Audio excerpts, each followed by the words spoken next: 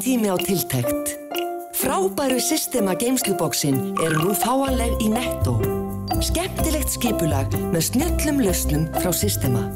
Netto. Kræsingar og kostakjör.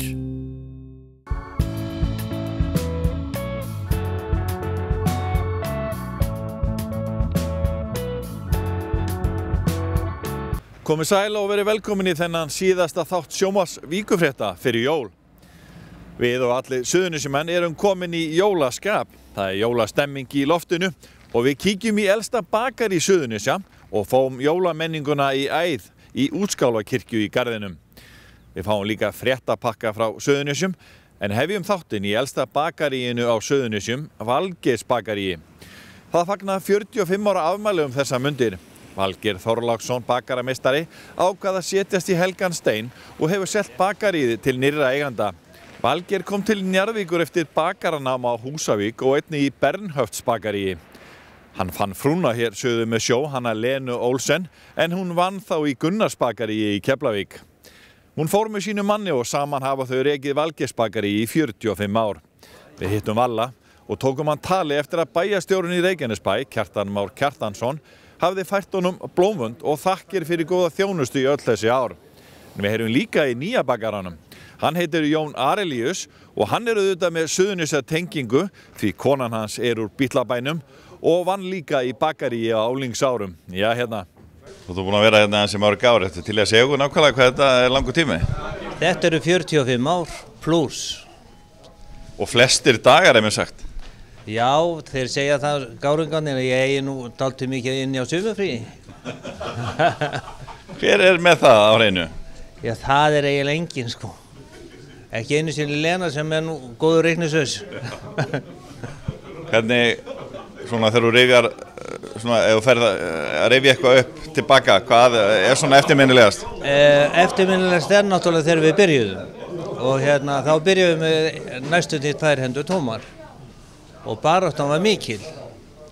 Vegna þess að það var sem sagt tvö bakari fyrir. Og þetta var njárvíkubakarið og það má ég lega segja það að Amerikaninn hann tók mér fagnandi og það var eiginlega hann sem held í mér lífin um tíma. En svo kom þetta smátt og smátt. Og svo þegar við byggðum hérna að þá hérna var eins og fólkið tæki okkur bara í arma sína. Því að í hverskipti sem var steift hérna, húsið var steift í nokkru meiningum þá fylltist gamla bakari og þegar það var steift plani hérna það var, ef það voru einhver uppkomið í þessu húsi þá var alltaf brjálað að gera. Nú við fórum Lena fór til Sparisjóðstjórnans og hérna var að vildi tryggja okkur hérna sérsagt penning og við unnum þetta bara hægt og rólega eins og við hefum gert alla tíð eitt skiptið sagði Sperrisjóðstæðin hvað allir ekki að fara að koma að fá lánið en svo kom náttúrulega því að við þurftum að fá lánið En þetta hefur svona samt gengið vel í gegnum tíðina? Alla tíð gengið vel og hérna ég held að hafi aldrei verið tap nema fyrstu, fyrsta árið eftir það þá var þetta bara alltaf stigvastandi og svona bara, bara gekk mjög vel. Eru uppskriftunar 45 ára? Já, sumar þeirra, alveg 45 ára. Snúðarnir, fransbröðið, formkökurnar og svo hérna. Eitthvað eitthva sérstatt sem að hefur verið vinsall en annan? Fá þetta sem þú ætti að nefna, þetta elsta? Já, það er, það er náttúrulega porgókunar og svo hefur normabröði, það hefur alveg, það hefur alltaf verið og hérna slegið gegn og snúðarnir hjá mér, þeir hafa alveg. Það voru oft verið talað um að, að, að vinnudagurinn hjá bökurum sé langur, hann byrjar allavega mjög snemma þannig að þú eru oft verið að koma hérna allt aukt í bænum og þá ert þú að byrja að vinna. Já, akkurat og hérna vinnudagurinn er bara, hann er bara allan sólaringi, líku við. Er það kannski líkillinn að, að, að reksturinn hefur gengið vel að þeir eru búin að vera standið þessu mikið sjálf? Já, vegna þess líka að við höfum haft áhuga á þessu. Þetta hefur verið okkar áhuga starf. Og eins og Lena, hún hefur haft mjög gaman að því að afgreða og umgangast fólk sem hún á enn í dag. Og hérna, það er bara að því að ég kynntist henni að hún var að vinna í Gunnusbakari og hérna Allstán og öðru bakari. Já, já, já, Gunni, Gunni heitinn, hann vildi nú helst að við saminuðust bara, en ég vildi það ekki. En hafa þetta verið aðalega njárvikingar eða bara miklu fleiri? Nei, það er bara verið, bara allt svæðið, það er bara, er ekki hægt að segja annað. Við vorum í heilsölunni um tíma og svo hættum við því og þá má ég alveg segja að þá fór skútan verulega á stað, sko, vegna þess að heilsalan, hún tók svo mikið frá okkur. Við gátum ekki synd búðinni og við gátum ekki, hérna, það fór svo mikið í heilsunum og þar var, þurftum við að taka tilbaka Hvað kemur til að menn koma til Njárvíkur og kaupa heilt bakari? Herðu, þetta er náttúrulega stórgóðslega eining, Valgersbakari. Kona mín er hérðan og eh, bara, þetta er bara no brainer. Þú ert búin að vera með svona rekstur í Hafnarferði í, í mörg ár. Ég er búin að vera með bakari kökulist í Hafnarfyrði í 19 ár og, og, og þetta er flott útrás. Og skemmtileg svolítið að, koma hérna í, til Njárvíkur og, og taka 45 ára ga, gammalt bakari yfir. Herðu, þetta er bara einstakt. Móttökurnar, hvað ég sagt er að, að stóru áhugjunar í upphafi voru, verður með tekið vel. Það eru sko, núna fyrstu þrejum vikuna hafa tíu manna tekið bara í hönd, höndin á mér og, og óskafum velfarnar og búðum velkomin. Þannig að það er stórkostlegt. 45 ára saga í þessu bakari fullt að gummilaði hérna sem að er búið að vera nánast frá degi eitt. Hvað ætlað þú að gera? Herðu, það er búið að leggja með línundar. Það er búið að segja mér sko, fléttubröðin þau með ekki breyta, snúðarnir verða að vera eins, kringlutnar, það er ekki spurning. Ég keipti valgisbakari, sko, ég er ekki að fara að breyta sér í Starbucks það á morgun, alls ekki. Ég ætla náttúrulega bara að byggja á þessu, þetta er flottur öxtur, flott bakari, bara geggjaðar vörur, það er að sko keira hérna á, á áratuga gamlum uppskuttum og bara svona grunn hráöfni notu, þetta er bara frábæri söklar að byggja á. Við ætlum að, að, að hérna, með hækkandi sól ætlum við að opna þetta kaffeaðstöð í hinum helmingum af framhliðinni og, og, og bara, bara fullar, fyrir fulla hugmyndum og bara mjög spennt og þessar stórkostlega móttökur eru bara ómetanlegar. Ég, ég held ég verið að setjast niður á milli jól og nýjas og skrifa 15.000 árabótakvæði til allra bæjarbú og þakka fyrir þessi bara hlýhug og, og velvilja. Þannig að uh, það hefur ekki verið neitt beigur í þar að koma til Reykjanesbær sem hefur nú ekkert verið í, já það hefur svona verið misjöfn umræðan að undarhörnu. Sko ég bjó hérna í halvt ár fyrir 8 áru síðan og ég er náttúrulega búin að vita af Algersbakir í alla tíð. Bara síðan þá þegar ég bjóð hérna þá hefur sko miðdebill Reykjanesbakir bara flust held ég bara hérna út á plani fyrir framann.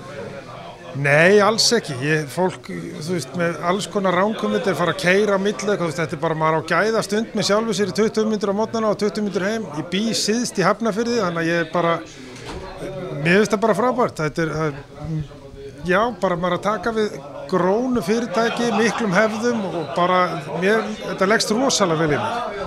Ætlað þú að vera hér sjálfur og baka eða verður í Hafnarfyrði eða? Nei, við flytjum alla framleyslan hinga, framleiðum fyrir kökulist hérna og, og ég bara kom með talsundastörfum með okkur og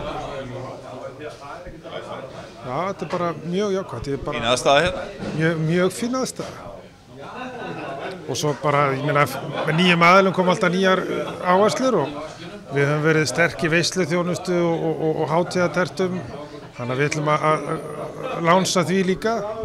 Við höfum verið að baka svona heilsubröð, súrdegsbröð, síkulus og oljuleg sem að homopattar hafa verið að senda skjólstæðingar til okkur að borða og við ætlum að koma þau ynga þannig að þetta bara, þetta verður svona eins og, eins hérna bróði bæjastur og segja þetta er svona brotaði besta sem verður hérna Með formkökurna, snúðana, fléttubröðin og allt sem að var, er hér frækt. og normalbröði já, já, það er engi spurning við bara förum ekki að rugga bátnum við verðum að byrja því að vera vínir allra og það er besta leiðin í gegnum hérna matalistina Hvernig líst þér á nýja eiganda? Þetta bara vel á hann og ég hugsa þetta, ég vona bara hérna suðnisamenn og allir tækja vel á mótónum og hérna ég held að hann er eftir að gera góða hluti. Heldur þú að ég er eftir að koma hérna og fá þig brauð og snúð? Það er ekki spurning. Ekki kannski snúð, ég hef ekki verið mikið fyrir snúðan okkur. En í vínabröðið og, og já, vínabröðið, það hefur verið mjög gott hjá okkur. Já, ég uh, get nú ekki spjalla við öðru, öðru svona að spurja þig. Hvað er uppáhaldið þitt í bakaríinu? Endarnir og... Það eru allt og góðir. Nei, ég tek þetta svar ekki gild. Ha, Ég tek þetta svar ekki alveg gild. Þú voru að nefna mér eitthvað í- sem að þið rífið í uppáhaldið þau. Já, byttu nú við. Sko, það var alltaf sagt hérna við mann, maður getur ekki gert upp á myndi bannana sinna og það er mitt loka svar.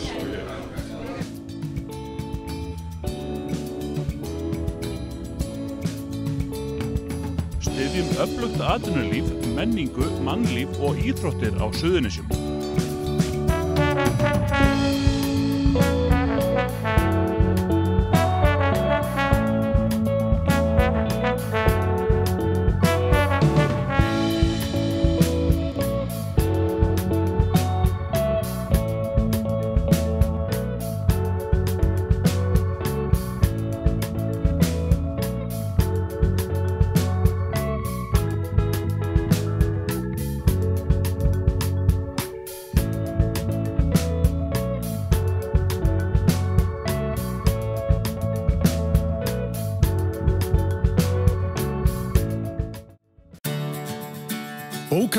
þinn á bílahótel og láttu degra við hana meðan hún ferðast.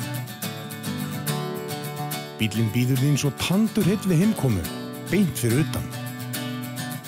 Bílahótel.is Nýtum allt og spörum.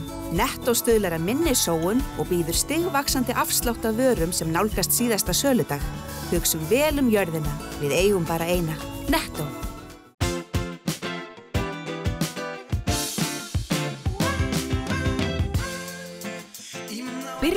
Fríið fyrr og njóttu lífsins. Keflavíkur flugvöllur.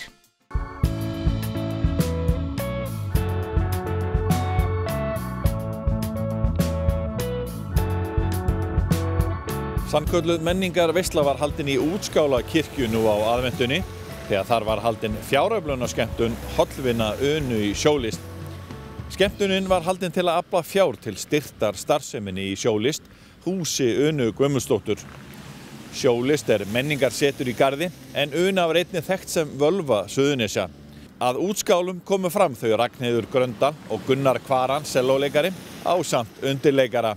Einnig söng Sisi Ástósdóttir, þáttakandi úr Voice Ísland og þá spiluðu bræðurnir Július og Tryggvi nokkur lög á gítar og sungu líka.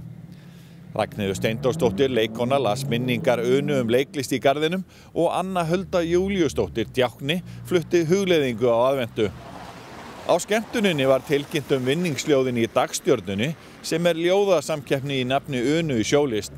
Fyrstu velun komu hlut Amelíu Bjarkar Davísdóttur sem er 12 ára úr gerðaskóla. Önnur velun hlaut Stefán Örd Sigur Jónsson 11 ára úr gerðaskóla. Þriðju velun hlaut Hafdís Eva Pálsdóttir 11 ára úr Millupakkaskóla í Keflavík. Hér eru svipmyndir og brot úr dasgráni í útskála kirkju á þriðja sunnudegi í aðmyndu.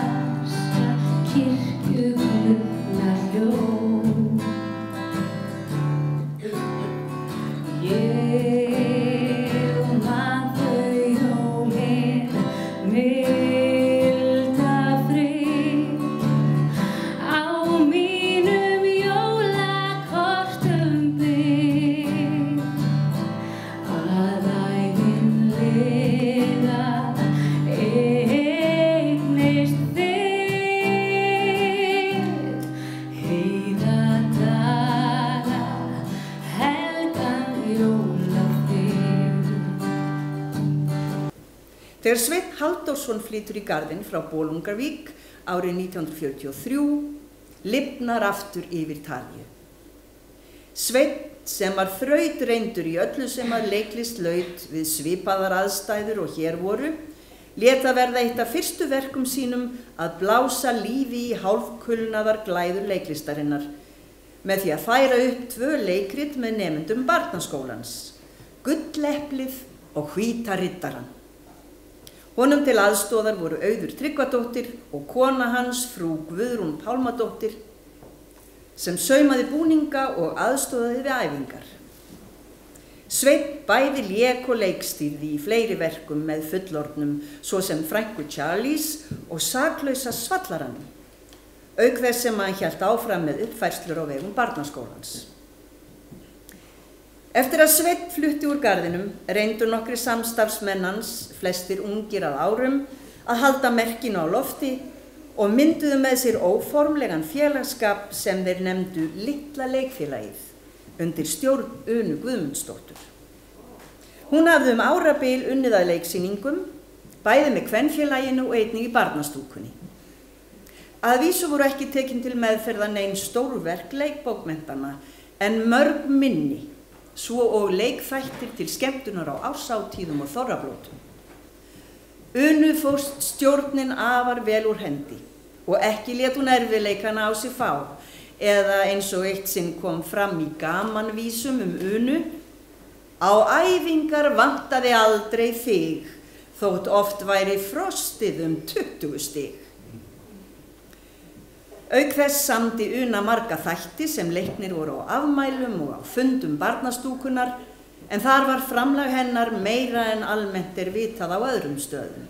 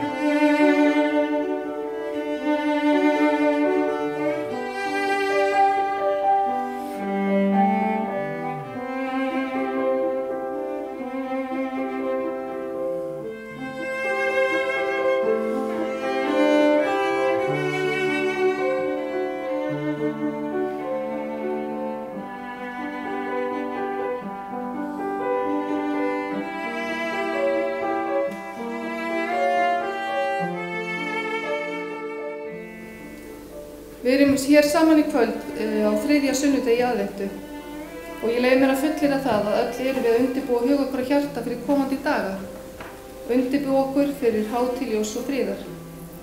Við minnumst þeirra ástvina sem að farin eru undan okkur frá þessu jarneska lífi til þess eilífa og við hug, hugum að leiðum þeirra til dæmis með því að tendra ljós og minnumst þess tíma sem við áttum saman. Hvert og eitt okkar fyrir í gegnum þennan tíma á sín hátt. Og meðan að söknur og sorg fyllir einhver hjörtu, þá eru önnur hjörtu á sama tíma full af gleði og eftirvæntingu. Menningarlíf og verslun blómstrar á þessum ástíma og skapast hefur svo hefð hér á landi að gera vel við sig í mat og drikk. Sum okkar kjósa að njóta alls þess sem að í bóði er og erilsins sem að fylgir. Á meðan að hlýji sokkar, ullateppið og heitt súklaði heillar aðra. Og hvort sem að við kjósum að fara með hraðalestinni sem að stoppa og stutta á hverjum stað á leiðinni gegnum þennan tíma eða með ein, einreiðinni sem að fyrir hægt yfir og tíminn milli ferða í lengri, þá er þetta allt gott að blessa á meðan við gleymum ekki að hlúa að fólkinu í kringum okkur. Gleymum ekki að hlúa því sem að virkilega nærir hjarta og sál. Og sennilega kannust við öll við það að vera hálf fegin þegar jólin eru búin. Þar sem að álægið hefur verið allt og allt mikið. En gleymum því ekki að við kristni menn og konur erum að fagna fæðingu frelsarans, drengsinn sem að Marja hjælt á í faðmi sér og kisti á kinnarnar. Drengsinn sem að tók á sig byrðar heimsins. Leifum okkur að staldra við og hlusta á hvort annað, segja sína útgafu af fallegu Marju. Megi aðvindan vera ykkur ánægileg og jóska ykkur öllum gleðilega jóla.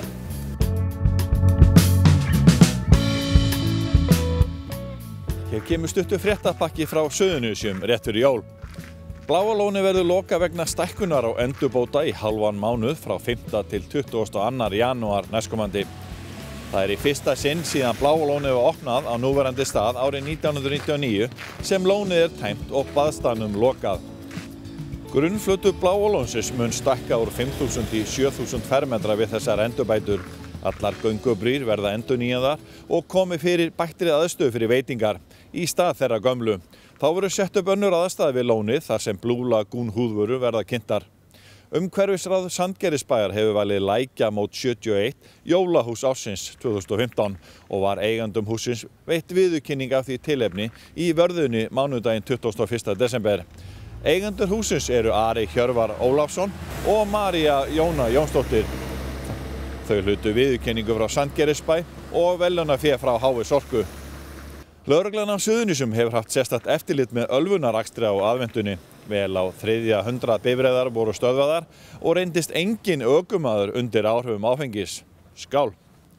53 nefnundur útskrifuðust á haustun fjölbjörndaskóla Suðunísja en brautskráning fór fram á sal skólans síðastlegin lögadag. Silvíja Rudd Káradóttir var með hæstu meðalengunina á stúdensprófi og er dúks haustannar. Stúdentar voru flestir brautskráðura eða 42, einn var af starfsbraut, 8 úr verknámi og 3 úr starfsnámi. Nokkrir útskrifuðust af tveimur brautum.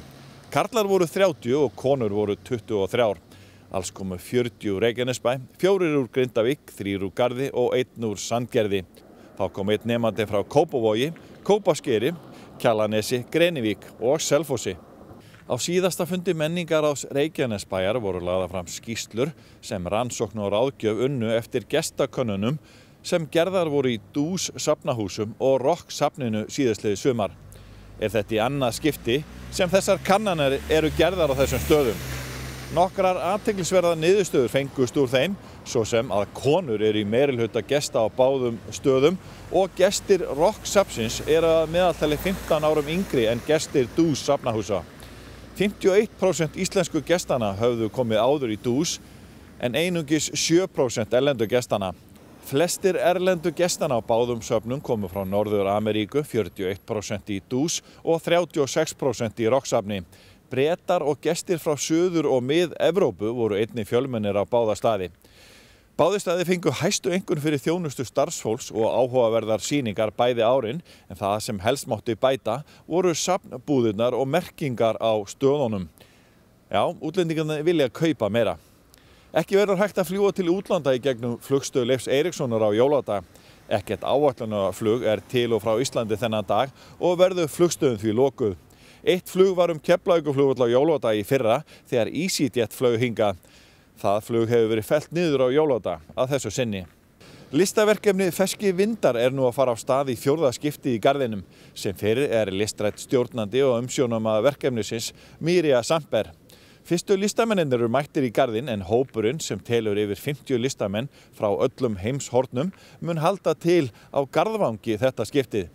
Listaverkefni Feski vindar í gardi var fyrst haldið áramótin 2010 til 11 og hefur verið haldið annarkvert ár síðan. Verkefni snýst um það að 50 listamenn frá öllum heimshornum koma í gardin, búa þar og vinnað sinni listi um 5 vikur. Mörg verk príða gardin í dag eftir fyrri skipti feskra vinda og eru í eigu sveitafélagsins. Við endum fréttapakkan á jólaveslunni en hún nær hámarki á söðunu sem nú rétt fyrir jól. Eitt terra sem staði hefur vaktina í veslun er Georg Vaf Hanna, úrsmiður í Keflavík. En þetta eru 48. jólinn hans í úrabúðinni. Georg veit sko hvað klukkan slær. Og hér er kallinn. Um leiðu við þökkum ykkur fyrir áhorfið þá minnum við ykkur á að við verðum með þátt á milli jóla og nýjárs en líka blað.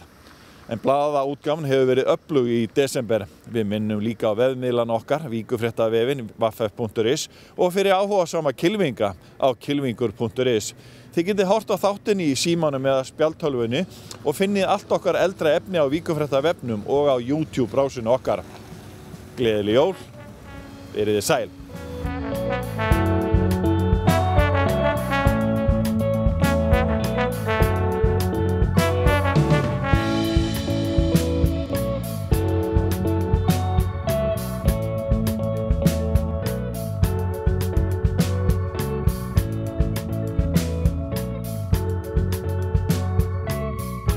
Vertu velkominn á Rock Sub Íslands.